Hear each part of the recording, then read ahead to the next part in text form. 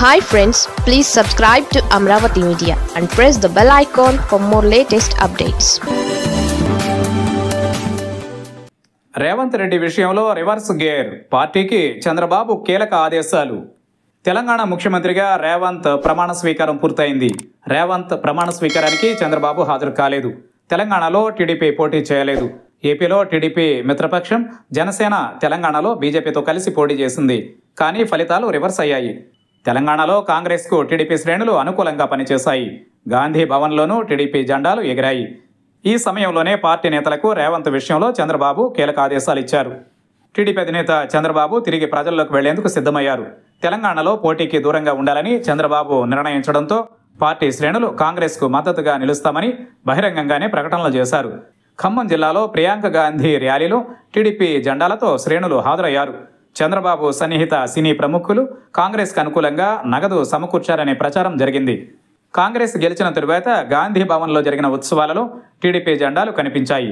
ఇక బీజేపీతో జనసేన కలిసి పోటీ చేసినా ఆ పార్టీ అభ్యర్థులకు డిపాజిట్లు దక్కలేదు. బీజేపీ నేతలు ప్రచారం చేసిన ప్రాంతాలలో ఆ పార్టీ అభ్యర్థులు గెలుపొందారు.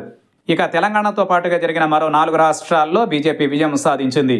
దీంతో చంద్రబాబు పునరాలోచనలో పడ్డారు. ఏపీలో జగన్ను ఎదుర్కోవాలంటే బీజేపీతో కలిసి వెళ్ళాలని భావిస్తున్నారు. పవన్ సైతం దీనికి అనుగుణంగా బీజేపీతో రాయబారం నడుపుతున్నారు. కానీ ఇప్పటి వరకు బీజేపీ ఆలోచన ఏంటనేది స్పష్టత రాలేదు. ఇప్పటికే టీడీపీ తెలంగాణలో కాంగ్రెస్కు మద్దతు ఇచ్చిందనే ప్రచారం పెద్ద ఎత్తున సాగుతోంది. టీడీపీ మద్దతుదారులే సోషల్ మీడియాలో రేవంత్ చంద్రబాబు అనుకూల ప్రచారం చేస్తున్నారు. దీంతో చంద్రబాబు అలర్ట్ అయ్యారు. బీజేపీతో ఏపీలో పొత్తు కావాలంటే తాము రేవంత్తో దూరంగా ఉండాలని నిర్ణయించారు. అందులో భాగంగానే రేవంత్ను అభినందిస్తూ సందేశం కూడా ఇవ్వలేదు. ఇదే సమయంలో పార్టీ నేతలకు కీలక సూచనలు చేశారు. రేవంత్కు అనుకూలంగా కాంగ్రెస్ పార్టీకి మద్దతు ఇస్తున్నట్లు పార్టీ నేతలు ఎవరూ స్పందించవద్దని సూచించినట్లు పార్టీలో ప్రచారం సాగుతోంది.